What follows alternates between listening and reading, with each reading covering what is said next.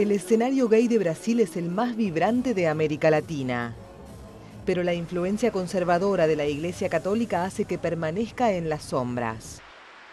Esta contradicción explica en parte por qué a la policía le tomó más de un año y al menos 13 víctimas aceptar que un homicida serial asesinaba gays en este parque de Sao Paulo, clásico punto de travestis y otros homosexuales.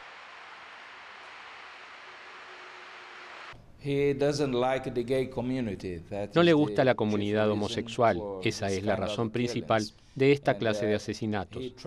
El homicida intenta tener sexo con ellos y luego cuando tiene a la víctima bajo su autoridad, la mata con un tiro en la cabeza. Hay un sospechoso detenido, un ex policía que tenía el mismo tipo de arma usada en los crímenes. Grupos de homosexuales están indignados por el tiempo que transcurrió sin investigación. Tuvimos que esperar que 13 personas perdieran la vida para ver una investigación. Eso no tiene sentido, no hay justificación. Según la asociación, en Brasil dos de cada tres gays son víctimas de violencia física o verbal. Puedes correr riesgo de muerte porque hay lugares donde es peligroso demostrar que uno es homosexual.